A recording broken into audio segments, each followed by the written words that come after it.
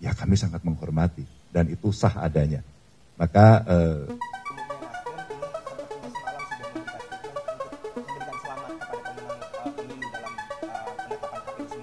Partai Nasdem juga mengucapkan selamat pada pasangan Prabowo Subianto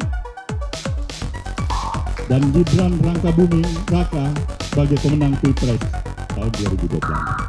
Nasdem ini sepertinya semalam sudah memberikan statement untuk memberikan selamat kepada pemenang uh, pemilu dalam uh, penetapan KPU semalam.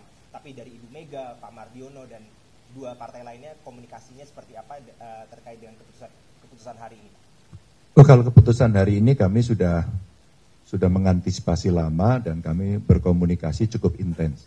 Jadi ini cerita soal proses lama, persiapan lama yang baru bisa diomongkan hari ini. Jadi kami komunikasi eh, cukup intens terkait dengan itu. Soal partai lain mereka punya sikap sendiri-sendiri, ya kami sangat menghormati dan itu sah adanya. Maka eh, setelah ini pun nanti kami akan berkomunikasi lagi kepada beliau-beliau rasanya ya fatsun politik itu mesti kita lakukan. Partai Nasdem menyatakan menerima hasil pemilu tahun 2024 yang telah dilaksanakan pada tanggal 14 Februari 2024 yang lalu. Baik pemilihan anggota legislatifnya maupun pemilihan presiden dan wakil presiden dalam Pilpres. Kedua, Partai Nasdem mengucapkan selamat kepada seluruh partai politik peserta pemilu legislatif tahun 2024.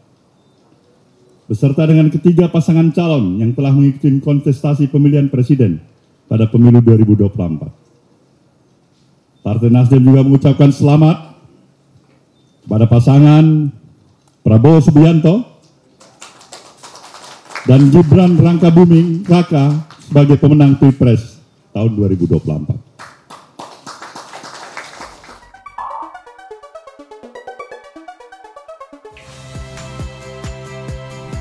Saya Agin Fridianto.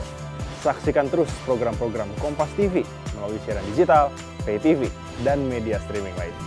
Kompas TV, independen, terpercaya.